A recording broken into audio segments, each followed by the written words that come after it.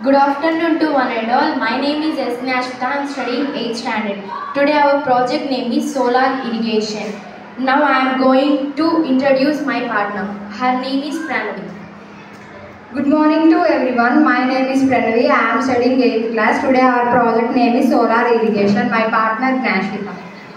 Now I am going to explain this project solar irrigation. This is solar panel. This solar panel receives sun rays from the sun and it supplies or it transfers the sun rays to this motor with the help of connection and this motor supplies the electricity or sun rays through to this tank. This tank will help to will help to make the pure form of electricity.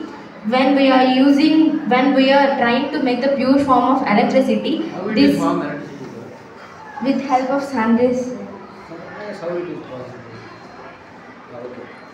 This tank will help to make the good pure form of electricity. When we are trying to make the pure form of electricity then the tank releases some wastewater. That wastewater is released into these ponds and fields.